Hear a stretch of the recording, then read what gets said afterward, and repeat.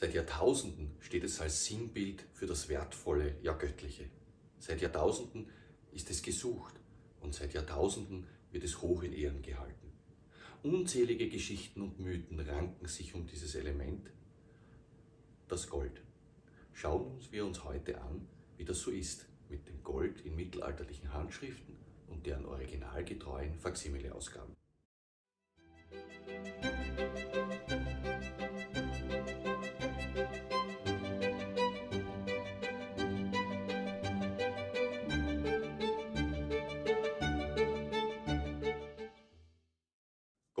Hat seit Anbeginn fasziniert und das zeigt sich durchgehend in den kulturellen Spuren, die die Menschheit bis heute hinterlassen hat. Bereits die Bibel thematisiert das goldene Kalb als Symbol falschen Glaubens. Hingegen wird Moses beauftragt, den Deckel der Bundeslade mit Gold zu bedecken, zur höheren Ehre Gottes.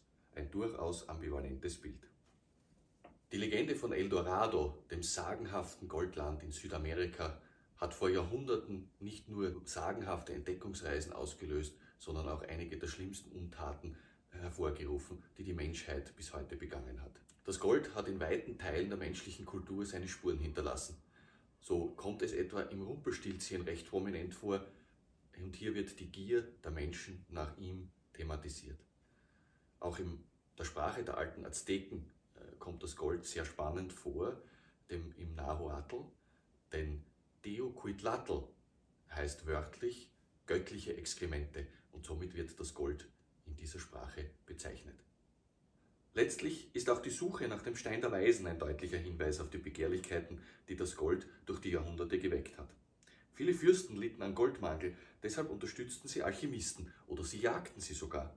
Johann Friedrich Böttger wurde zu Beginn des 18. Jahrhunderts vom Kurfürsten Friedrich August von Sachsen, dem genannt August der Starke, gefangen genommen und gezwungen, eine Methode zur Erzeugung von Gold zu finden.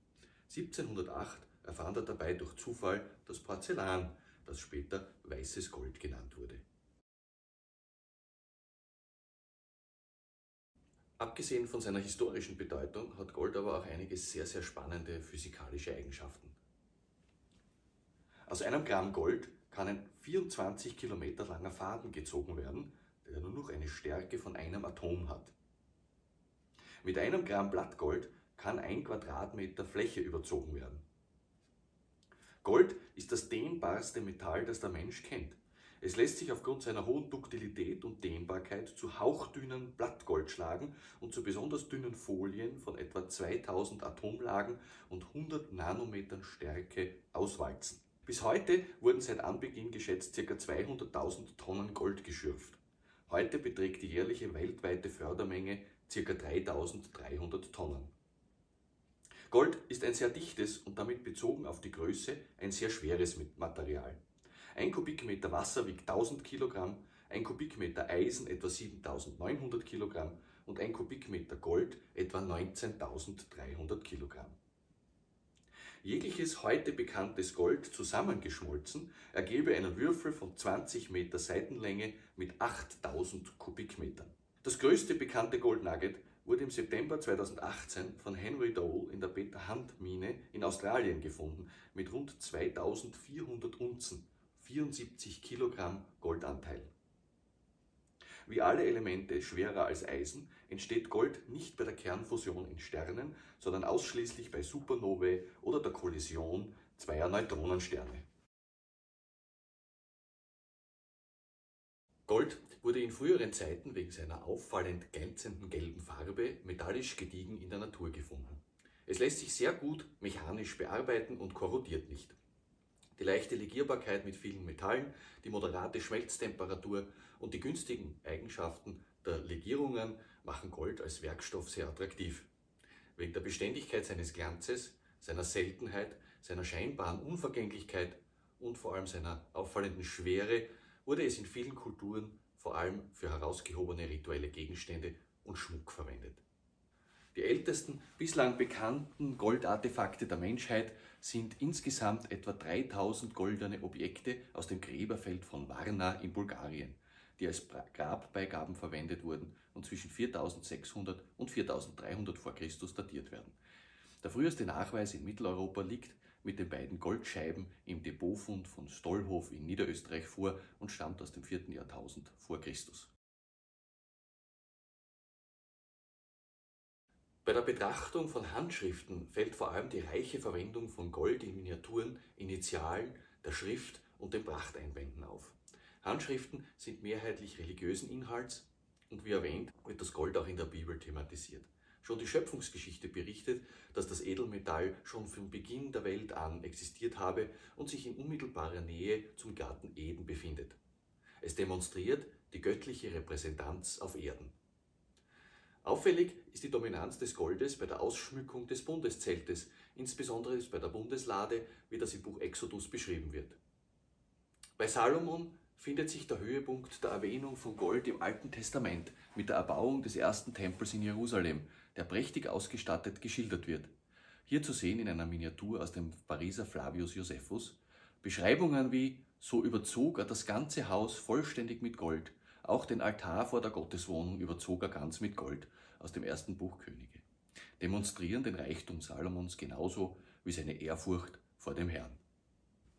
Im Alten Testament finden sich neben diesen Beschreibungen von Gold als Zeichen für die Herrlichkeit Gottes und weltliche Machtansprüche auch die Verwendung von Gold als Symbol. So etwa wird beim Tanz um das goldene Kalb nicht das Gold an sich, sondern die Gier nach ihm und die Lust, es in Form von Götzen zu verehren, verurteilt. Im Neuen Testament wird das Edelmetall nicht mehr zur Darstellung von Reichtum verwendet, sondern metaphorisch als Idealsymbol. Neben den Metaphern, die die negative Wirkung des Goldes auf den Menschen verbildlichen sollen, taucht es in seiner himmlischen Bedeutung auf. Zum Beispiel im Hildesheimer Kalendarium als Gabe des ersten Weisen bei der Geburt Christi. Das Gold verweist hier auf das Königtum Christi über die Welt. Besonders klar wird die Ambivalenz der Sichtweisen des Goldes in der Offenbarung des Johannes.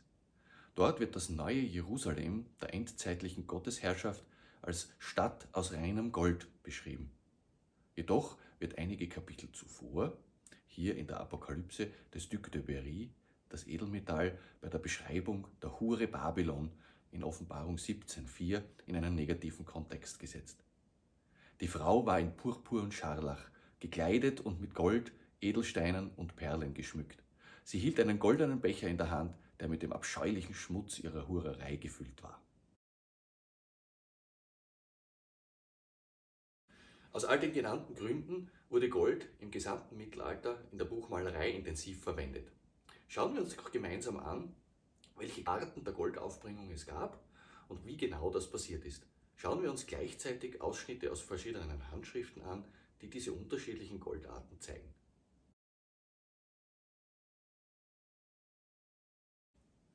Generell benötigt Gold einen Träger, um auf dem Pergament oder Papier haften zu bleiben. Das ist das sogenannte Poliment.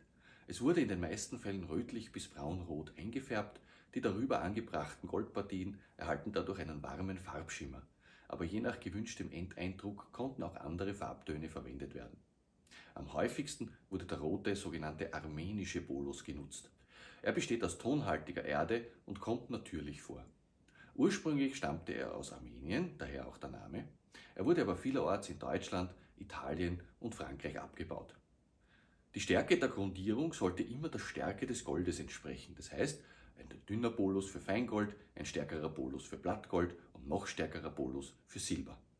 Für eine höhere Elastizität des Untergrundes sorgen so spannende Zusätze wie Zucker, Honig, Knoblauch, Seife oder Ohrenschmalz. Der fertig angerührte Brei wird zunächst durch ein sauberes Leintuch gepresst, das erzeugte eine homogene Masse ohne feste Teile. Seine Konsistenz ist idealerweise wie Honig, damit ist er gezielt auch auf kleine Flächen auftragbar. Der Auftrag selbst erfolgt meist einfach und möglichst gleichmäßig, auf Pergament etwas dicker als auf Papier. Wichtig ist eine ausreichend hohe Luftfeuchtigkeit. In entsprechenden Quellen sind Empfehlungen zu lesen, die Vergoldung nicht in der Sonne oder in der geheizten Stube vorzunehmen, sondern idealerweise im feuchten Keller, gut für das Gold, schlecht für den Vergolder. Die Auftragung des Goldes, das sogenannte Anschießen, beginnt mit dem Zuschneiden eines Stückes Blattmetall. Danach wird es mit einem Stück Stoff, einer Holzpinzette, einem Spatel oder einer Zange angelegt. Anschließend wird das überschüssige Gold mit Wolle oder einer Hasenpfote entfernt. Sollte das Gold löchrig sein, wird nach demselben Verfahren ein weiteres Blatt darüber gelegt. Zum Polieren werden Zähne verwendet, vor allem von Wölfen oder Pferden, aber bessere Poliermittel sind sicher Edelsteine gewesen, etwa Hämatite, Smaragde, Topase oder Rubine. In manchen Fällen wurde das Blattgold auch noch punziert, also mit Mustern strukturiert.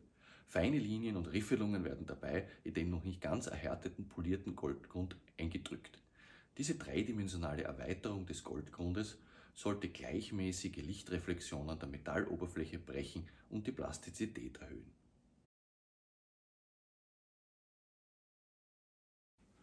Goldpulver oder Muschelgold wurde im Mittelalter vor allem zum Schreiben verwendet, aber auch zur Gestaltung von kleinen Formen, feinen Formen und zarten Details.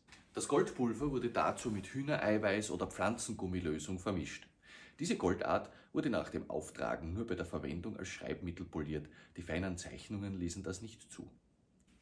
Zur Herstellung wurde Blattgold in einem Mörser mit Honig als Zusatz zerrieben, der Honig wurde danach wieder ausgewaschen. Bei einem anderen Verfahren stellte man aus Gold und Quecksilber Goldamalgam her, das beim Erhitzen Goldpulver als Rückstand hinterlässt.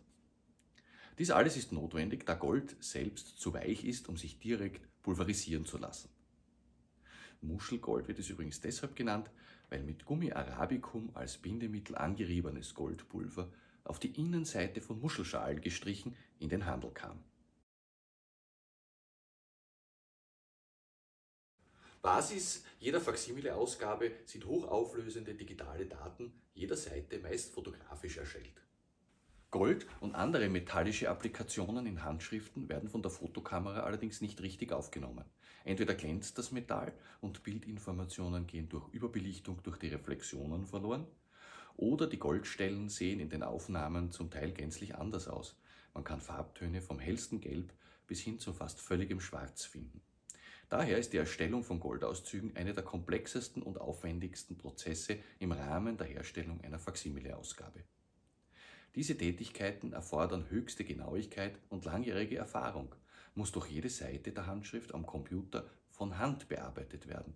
Jede Stelle, die im Original Gold aufweist, muss in Photoshop per Hand markiert und richtig definiert werden. Je nach Komplexität der individuellen Seite kann das einige Stunden dauern. Selbstverständlich werden auch die Goldpartien in den Andruckvergleichen mitverglichen, um die Charakteristik des Originals perfekt zu treffen, nicht nur im Bereich der Farbtreue, sondern auch in den Goldpartien. Es gibt unzählige mittelalterliche Handschriften, die zum Teil überreich mit Gold ausgestattet sind. Und alle zeichnet eines aus. Keine Goldapplikation gleich der anderen. Das Gold ist so individuell, wie es Kunstwerke überhaupt sind.